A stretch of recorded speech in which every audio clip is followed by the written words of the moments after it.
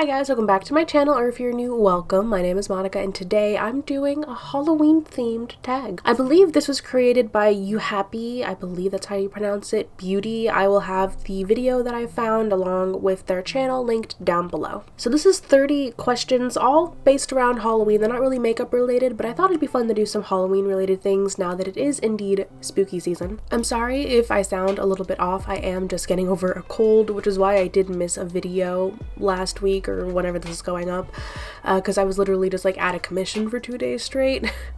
I'm recovered mostly now, but like it's been 84 years since I've smelled anything. so I'm gonna sound a little bit off, but you know what? It's okay because it's spooky season. Just pretend it's on purpose. so we got 30 questions, we got plenty to go through, so let's just go ahead and jump right in. Question number one is your favorite horror or Halloween themed song? And recently it's been the spooky scary skeleton song. There's a remix that i found that i really like. I'll have it linked down below. It's one of my favorites. Other than that this is halloween. Always a classic. Other than that oh my so my other recent favorite that i just found is called uh, nocturnal serenade i think. It's like the swedish um, singer who does like really extravagant music videos and the song is like prime spooky season. So I'll have all the songs linked down below. Those are what I've been listening to like on repeat. Question number two is name something you wouldn't want to run into in a dark forest or in an abandoned building. Uh, how about anything? Nothing. If I'm walking somewhere and there's something I'm not expecting there, how about no? Question number three is Have you ever played with a Ouija board? I think I did when I was like 12 or 13. I think my best friend had one. But eh, not really. Question number four is What is your favorite horror monster or villain? Definitely Hannibal Lecter. He's my absolute favorite like villain. I've read all the books. I've watched the movies, even though the Hannibal movie where they replaced Jodie Foster wasn't the best. Um, TV show Hannibal, incredible, amazing. But he's probably my favorite like bad guy. Question number five is the creepiest thing that's ever happened while you were alone. Hmm. So there's actually uh, a story. So when I was younger, we used to live on base. My dad was an active military member, so we lived in base housing up until the time I was 13. When I was like 9 or 10, I had my best friend over and my dad, and everyone else was gone. So it was just me and my best friend in the house. And we were on my computer. We had a big desktop computer. We were watching like music videos. I remember specifically they were like Akon music videos. But we were home alone and it was dark and we were listening to those music videos and we hear someone knock really, really loud on the front door. And then we hear someone knock really, really loud on the garage door. My bedroom was like, if you come in through the garage door, it's the first bedroom on the left. And then we heard someone yelling and banging on my bedroom window. We were scared shitless. And so we were like screaming, we ran outside, and then we saw my dad. It was my dad and his friend playing a prank on us yeah so thankfully nothing else outside of that has really happened like but i think that was actually like the scared like most scared i've ever been when i was home alone but it's because like they were playing a prank on us. Question number six is if you were dared to spend the night in a haunted house would you do it? I think it depends on the house. If it was like a nice mansion probably. Um if it's like a shack that looks dilapidated and like not safe no. Question number seven is are you superstitious? Not really no the only thing I say I'm superstitious about, but it's more of a joke than anything, it's about the trains I have to take to work, like NJ Transit. So I always, like, I always joke around and say, I'm not going to say anything about my commute. I'm not going to say anything about the trains being on time, because if you say, oh, the trains are running really well today, they won't run well. so that's the only thing. But, like, when it comes to, like, actual, like, regular superstitions? No. Question number eight is Do you ever see figures in your peripheral visions? This is kind of an odd question, but I see hair, not like people. Like my hair is up right now because it's still drying, but when my hair is down, I constantly see curls and I go like, oh, what's that? But it's it's just my hair. It's just my hair. Question number nine is which urban legend scares you the most? I think when I was a kid, um, it was La Llorona because I grew up, so most of elementary school was in New Mexico. So we did hear a lot of those. I think that was the scariest one because like everyone knew it. And back when you were younger, like all the adults used to like say it as if it was a real story, which I don't know if it actually was a real story, if a woman actually like drowned her kids in the river. Uh, it's probably based on something. But I think that scared me the most when I was a kid because everyone was always like, yeah, she's just gonna like haunt it wasn't even just rivers. So the story that I was told was that she would haunt uh, like ditches, anywhere that you weren't where you're supposed to be and you were alone as a kid. She would think you're your she was blah blah blah. She would think you were her kid and then she would kill you. so I think that scared me when I was a kid. But as of right now, I don't know. I think I really love like creepy pastas about like technology. So I think the only ones that like I like listening to that kind of scare me are like ones about like the dark web or the deep web.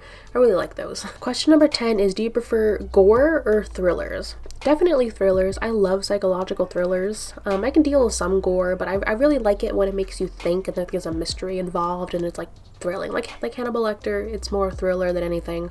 Like um I'm trying to think some of my other favorite movies, but most of them are psychological thrillers first and then maybe gore later, but definitely thrillers. Question number is Question number 11 is do you believe in multiple dimensions or worlds? I don't know about multiple. I mean, so we have all of these theories that I am definitely not intelligent or informed enough to really talk about, but um I really do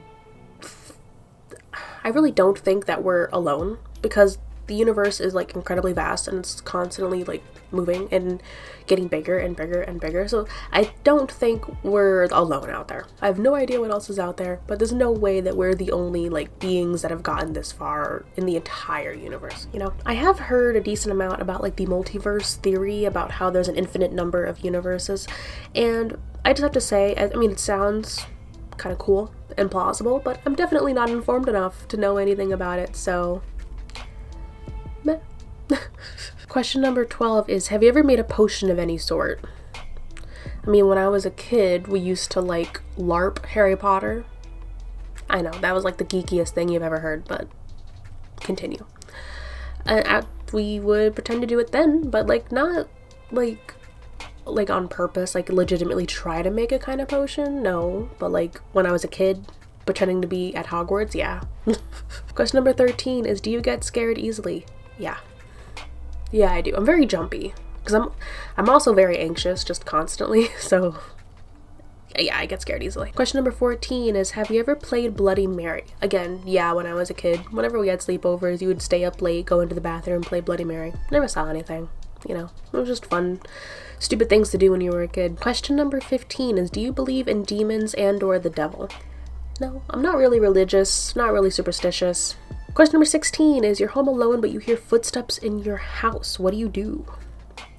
Well, uh, I would get 911 on the phone and then I would grab a knife because that's the only thing I have up here in my room that could be anything known as a weapon.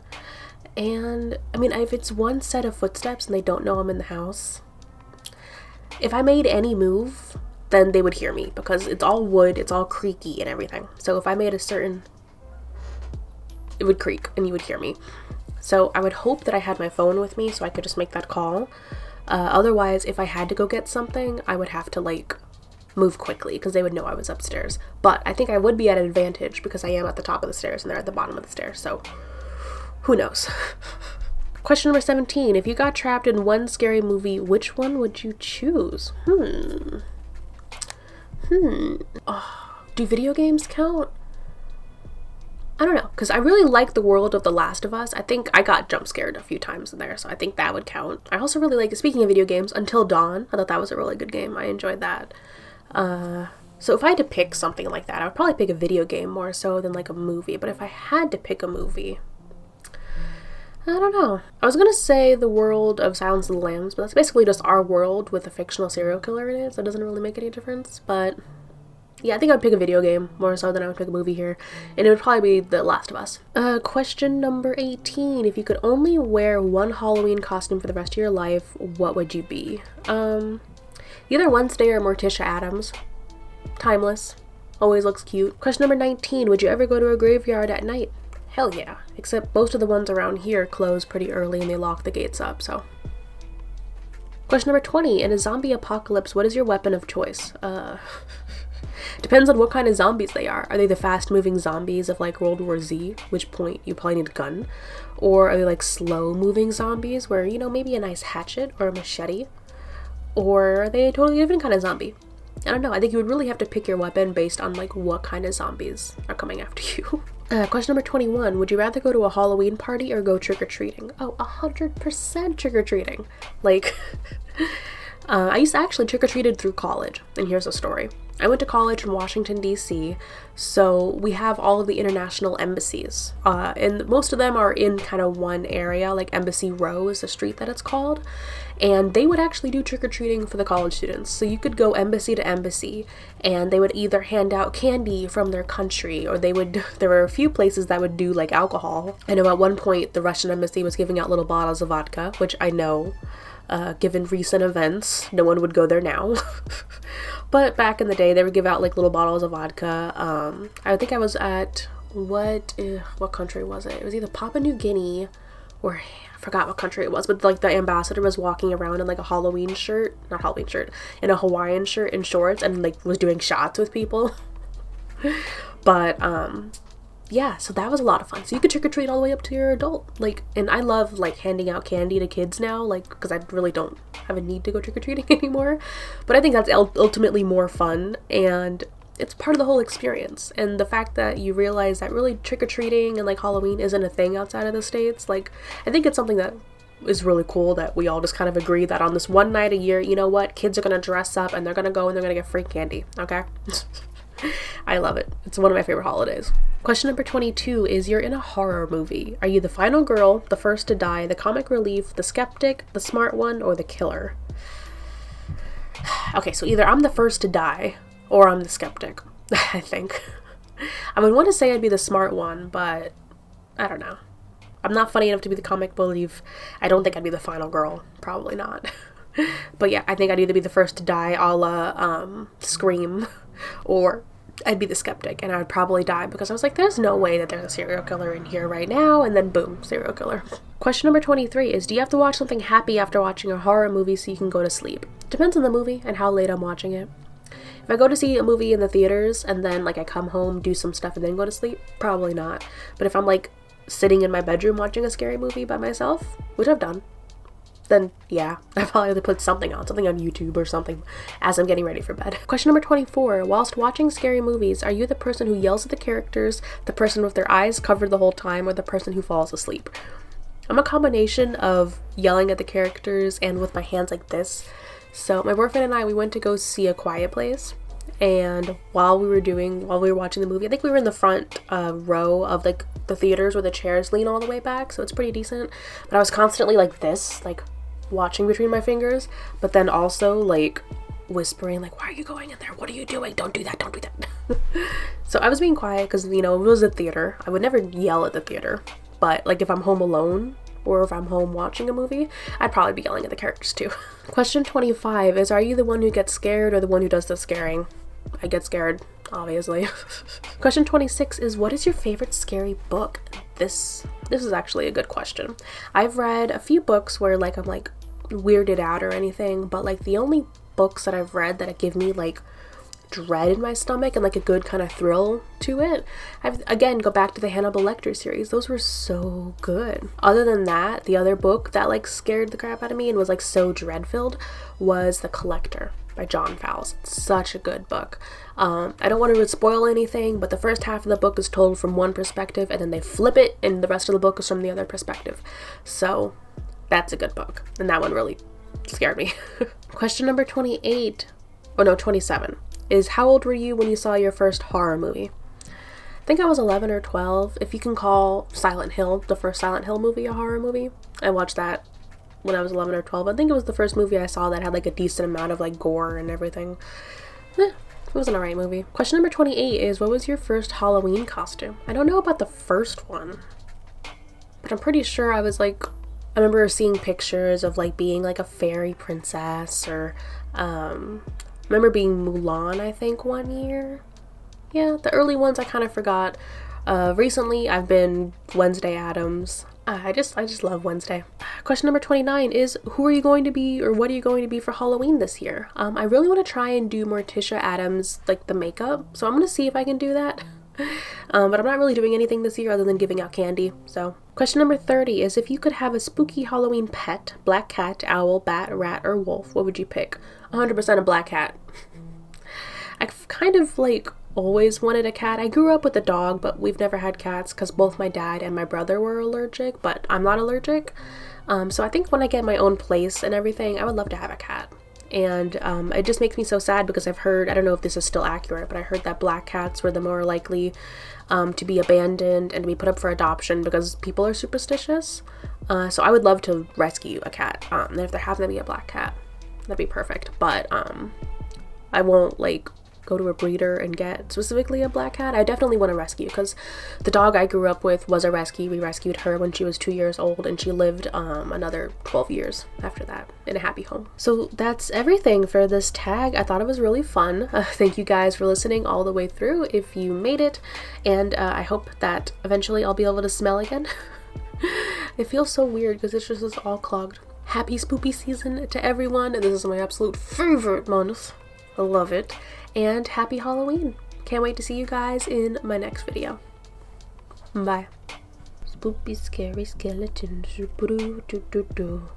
Spoopy scary skeletons. I'm gonna sneeze.